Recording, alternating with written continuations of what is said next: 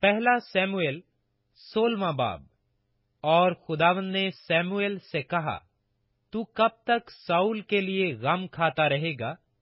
جس حال کے میں نے اسے بنی اسرائیل کا بادشاہ ہونے سے رد کر دیا ہے۔ تو اپنے سینگ میں تیل بھر اور جا، میں تجھے بیت الحمی یسی کے پاس بھیجتا ہوں، کیونکہ میں نے اس کے بیٹوں میں سے ایک کو اپنی طرف سے بادشاہ چنا ہے۔ سیموئل نے کہا، میں کیوں کر جاؤں؟ اگر ساؤل سن لے گا تو مجھے مار ہی ڈالے گا۔ خداون نے کہا، ایک بچیا اپنے ساتھ لے جا۔ اور کہنا کہ میں خداون کے لیے قربانی کرنے کو آیا ہوں، اور یسی کو قربانی کی دعوت دینا۔ پھر میں تجھے بتا دوں گا کہ تجھے کیا کرنا ہے۔ اور اسی کو جس کا نام میں تجھے بتاؤں، میرے لیے مسا کرنا۔ اور سیموئل نے وہی جو خداون نے کہا تھا کیا اور بیت الحم میں آیا۔ تب شہر کے بزرگ کانپتے ہوئے اس سے ملنے کو گئے اور کہنے لگے، تو صلح کے خیال سے آیا ہے۔ اس نے کہا، صلح کے خیال سے میں خداون کے لیے قربانی چڑھانے آیا ہوں۔ تم اپنے آپ کو پاک صاف کرو اور میرے ساتھ قربانی کے لیے آؤ۔ اور اس نے یسی کو اور اس کے بیٹوں کو پاک کیا اور ان کو قربانی کی دعوت دی۔ جب وہ آئے تو وہ الیاب کو دیکھ کر کہنے لگا، یقیناً خداون کا ممسو اس کے آگے ہے۔ پر خداون نے سیموئل سے کہا کہ تو اس کے چہرہ اور اس کے قد کی بلندی کو نہ دیکھ۔ اس لیے کہ میں نے اسے ناپسند کیا ہے، کیونکہ خداوند انسان کی مانند نظر نہیں کرتا۔ اس لیے کہ انسان ظاہری صورت کو دیکھتا ہے، پر خداوند دل پر نظر کرتا ہے۔ تب یسی نے ابھی نداب کو بلایا اور اسے سیموئل کے سامنے سے نکالا۔ اس نے کہا خداون نے اس کو بھی نہیں چنا۔ پھر یسی نے سما کو آگے کیا۔ اس نے کہا خداون نے اس کو بھی نہیں چنا۔ اور یسی نے اپنے سات بیٹوں کو سیموئل کے سامنے سے نکالا۔ اور سیموئل نے یسی سے کہا کہ خداون نے ان کو نہیں چنا ہے۔ پھر سیموئل نے یسی سے پوچھا، کیا تیرے سب لڑکے یہی ہیں؟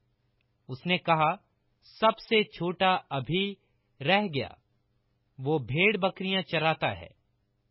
سیموئل نے یسی سے کہا، اسے بلا بھیج، کیونکہ جب تک وہ یہاں نہ آ جائے، ہم نہیں بیٹھیں گے۔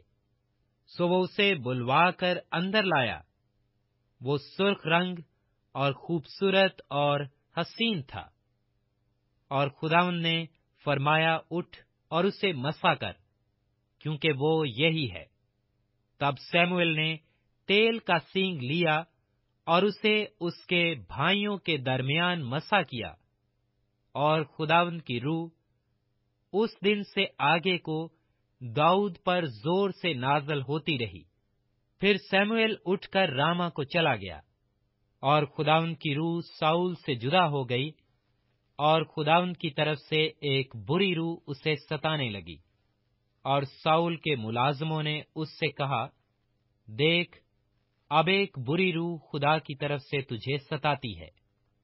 سو ہمارا مالک اب اپنے خادموں کو، جو اس کے سامنے ہیں، حکم دے کہ وہ ایک ایسے شخص کو تلاش کر لائیں جو بربت بجانے میں استاد ہو۔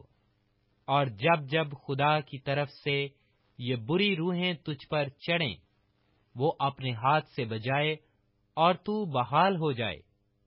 ساؤل نے اپنے خادموں سے کہا، خیر، ایک اچھا بجانے والا میرے لیے ڈھونڈو اور اسے میرے پاس لاؤ۔ تب جوانوں میں سے ایک یوں بول اٹھا کہ دیکھ، میں نے بیت الحم کے یسی کے ایک بیٹے کو دیکھا جو بجانے میں استاد اور زبردست سورما اور جنگی مرد اور گفتگو میں صاحب تمیز اور خوبصورت آدمی ہے اور خداوند اس کے ساتھ ہے۔ پس ساؤل نے یسی کے پاس کاسد روانہ کیے اور کہلا بھیجا کہ اپنے بیٹے داؤد کو، جو بھیڑ بکریوں کے ساتھ رہتا ہے، میرے پاس بھیج دے۔